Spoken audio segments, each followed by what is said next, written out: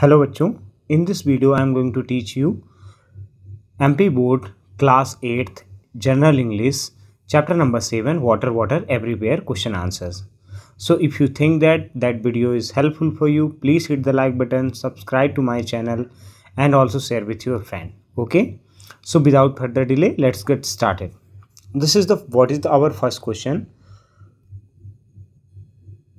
our first question is that read and learn सो ये आपकी book में गिवन है। आप इसको डायरेक्टली क्या कर सकते हो? रीड कर सकते हो और लर्न कर सकते हो। बाकी इसका आपको आंसर्स नहीं लिखने हैं, ठीक है ना? सेकेंड क्वेश्चन पे आ जाते हैं। Write the homophones for these words आपको क्या करना है? होमोफोन्स लिखने हैं किस पे? इन वर्ड्स पे। पहला नंबर हमारा वर्ड क्या है? स्टील होमोफोन्स क्या होते हैं? मतलब एक ही समान के, एक ही जैसे वर्ड जिनके मतलब अलग अलग हो, ठीक है ना? तो मैं आपको डायरेक्टली इनके आंसर्स बता रहा हूँ, जो आपको डायरेक्टली लिख लेने हैं, ठीक ना? क्वेश्चन आपके बुक में लिखा हुआ है, मैं यहाँ पे आपको डायरेक्टली आंसर बता रहा हूँ। तो पहला हमारा क्या हो जाएगा? फ़र्स्ट नंबर स्टील हो जाएगा सेकेंड वाला ड्यू हो जाएगा थर्ड न्यू हो जाएगा फोर्थ हमारा क्या हो जाएगा? वेट हो जाएगा सिक्स फिफ्थ हो जाएगा अलाउड सिक्स हो जाएगा प्लेन सेवेंथ हो जाएगा। A A R and seven he question है शायद तक। आप एक बार कंफर्म कर लीजिएगा, मैं एक बार चेक कर लेता हूँ। हाँ इतने ही क्वेश्चन है। सेवन क्वेश्चन ही है जो आपको राइट करने हैं, ठीक है? चलिए, अब आ जाते हैं नेक्स्ट में। डायरेक्टली अपने क्वेश्चन आंसर्स पे आ जाते हैं। तो पहला क्वेश्चन नंबर क्या है? What is a disaster disaster क्या है? ठीक है ना? Disaster is an unexpected event which kills और injuries a lot of people and cause a lot of damage to the property disaster एक तरीके का आकस्मिक घटना होती है, जिसके कारण जान और माल की काफ़ी हानि होती है, ठीक है ना? डिजास्टर क्या है? विपत्ति क्या है? ठीक है ना? ये हमारा क्वेश्चन था। चलिए नेक्स्ट क्वेश्चन को देख लेते हैं। आपको एज इट इज़ राइट कर लेना है और आपके जो आपका एमपी बोर्ड का सोल्यूशन होता है, ऐसे ही होता है। तो आपको एज इट इज़ इसको राइट करना है और राइट करके अपने कॉपी में नोट डाउन कर लेना है, ठीक है? चलिए क्वेश्चन नंबर टू क्या बोल रहा है? क्वेश्चन नंबर टू बोल रहा है what is what are epidemics epidemics क्या होता है? Epidemics are infectious disease which spread out over a large population by means of water, food और air. ठीक है ना? महामारी वो संक्रमण बीमारी होती है जो पानी, भोजन, हवा द्वारा भारी जनसंख्या में फैलती है। ठीक है ना? एपिडेमिक्स को क्या बोलते हैं? महामारी बोलते हैं। ठीक है?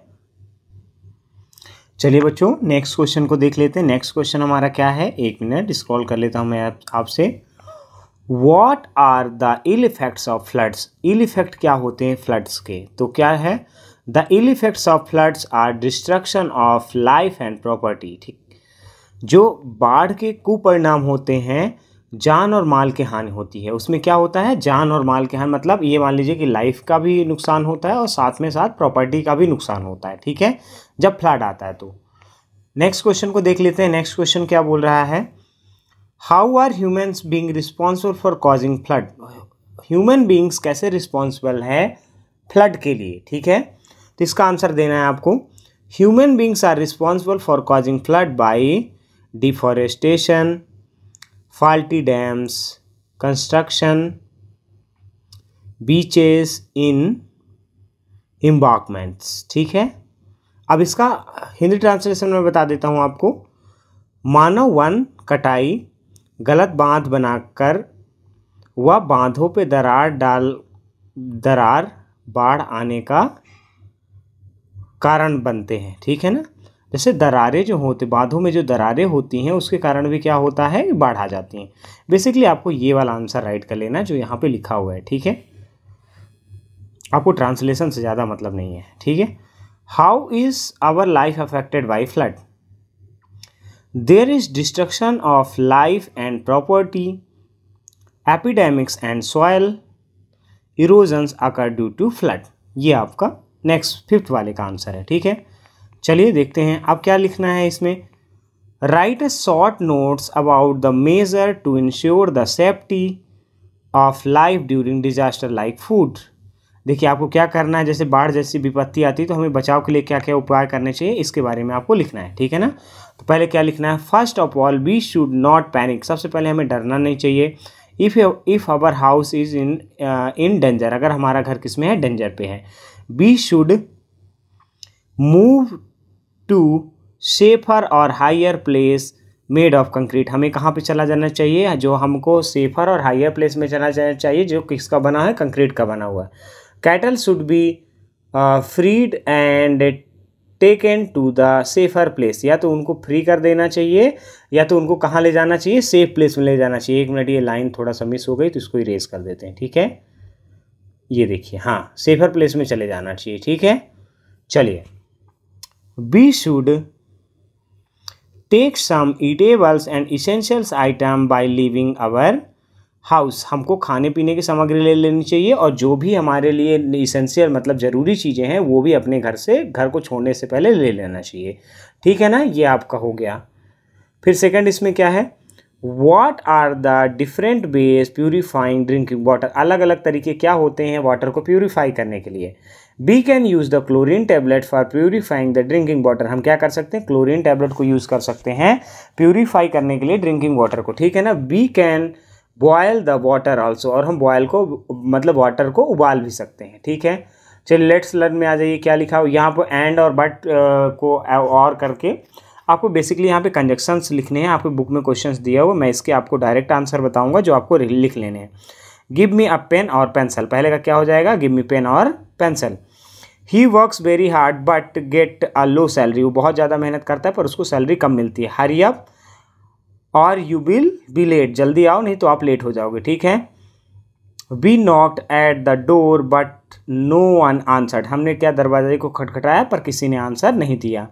Man discovered fire and learn to cook man ने क्या किया? फायर की खोज की मतलब आग की खोज की और कुक करना स्टार्ट किया। He is slow but he is sure वो धीमा है, पर बिल्कुल वो श्योर है, ठीक है ना? Sanjana work hard and won the scholarship Sanjana ने क्या किया? बहुत मेहनत की और उसको स्कॉलरशिप मिल गया। Priya can come early but Reshma can't Priya जो है, पहले आ सकती है, पर रेशमा नहीं आ सकती। ठीक है? Abu should go home early और his mother will be buried उसको क्या करना चाहिए? अबू को पहले घर जाना चाहिए, नहीं तो उसकी मम्मी क्या करेंगे? चिंता करेंगे। Sunil must learn to use the computer और he will get a good job ठीक है ना? Sunil must learn to use the computer so Sunil को बिल्कुल सीखना चाहिए कंप्यूटर सीखने के लिए। Otherwise he will not get a job नहीं तो उसको कोई नौकरी नहीं मिलेगी। ठीक है? ये आपको समझ में आया। फिर आपको क्या करना है? नेक्स्ट वाले rewrite the sentence using the correct prefix with the words in the bracket correct prefix को यूज़ करते हुए आपको बर्ड्स लिखना है। मैं आपके सामने ये आंसर लिखे हुए हैं। आप इसको डायरेक्टली राइट कर लीजिएगा। मैं आपको बता दे रहा हूँ। Many drivers disobey the speed restriction on the road ठीक है first I had reread the directions because I could not understand them in my first reading ठीक है the garden hasn't been mown so weeds have regrown I replaced the ball she had lost. These slippers are made of recycled plastics. These are the answers guys okay फिर इसमें क्या करना है? Add fore to make new words and from the following and use them in the sentence given below ठीक है ना? आपको ये लिखना है। तो फ़र्स्ट वाले का आंसर क्या हो जाएगा? According to the last evening's weather forecast का हो जाएगा। Astrologer claim that they can foretell your future okay next क्या है अपना?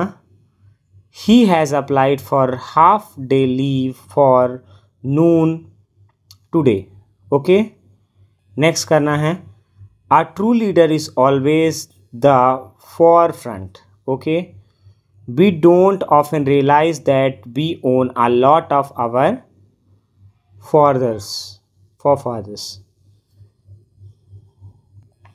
चलिए रीअरेंज करना है आपको रीअरेंज वाले वर्ड लिखने हैं, इसके डायरेक्टली आंसर्स यहाँ पे लिखे हुए हैं। एक मिनट में चेक कर लेता हूँ, आपको बताता हूँ, ठीक है ना? जो रीअरेंज करने it is important to spray the pesticides ठीक है? Use the chlorine tablets to purify the water prevention is better than cure ठीक है ना?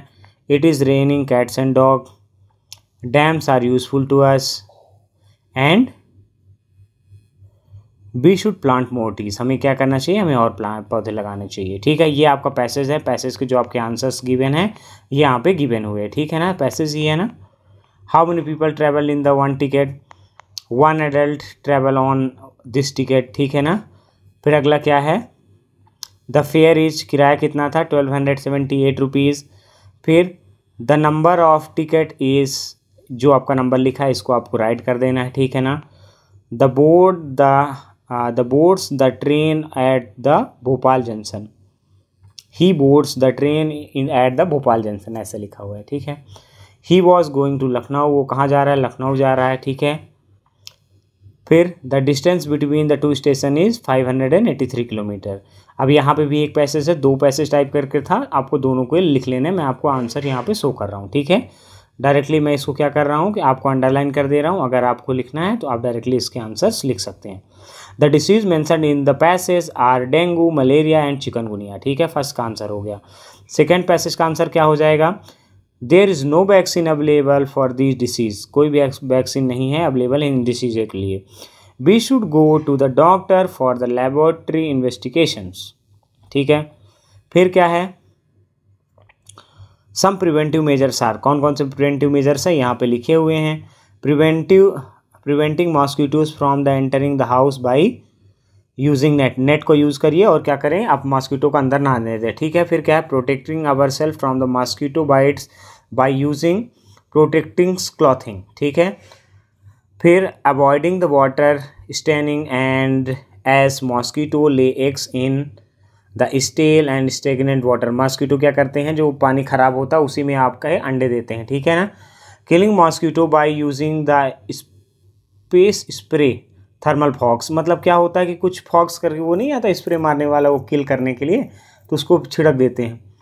ड्रेन सेगमेंट मतलब नाली water from the pots plants and cooler a मतलब क्या करिए कि जो भी आपका पुराना पानी है, उसको क्या करिए, बहाइए और जैसे कि आपको पॉट में, पौधे में भरा रहता है एयर कूलर में रहता है तो इनको सबको हटाना है, ठीक है? ये कुछ बर्ड्स लिखे हुए हैं, इससे आपको राइट बर्ड बनाने हैं, ठीक है ना? यहाँ पे बर्ड पहले का डिसीज़ हो जाएगा। दूसरे का ड्रेन हो जाएगा थर्ड का मलेरिया हो जाएगा फोर्थ का फीवर हो जाएगा ओके ये आपका आंसर्स है, ठीक है? बाकी और कुछ भी नहीं है। चलिए। आई होप दैट कि आपको वीडियो पसंद आया होगा। अगर वीडियो पसंद आया प्लीज़ चैनल को लाइक करिए सब्सक्राइब करिए, अपने दोस्तों के साथ शेयर करिए, क्योंकि मैं आपके लिए फ्री में ऐसे वीडियोज़ लाता हूँ। तो मुझे मोटिवेशन फील होता है। थैंक्स फॉर वॉचिंग चलिए मिलते हैं नेक्स्ट चैप्टर में।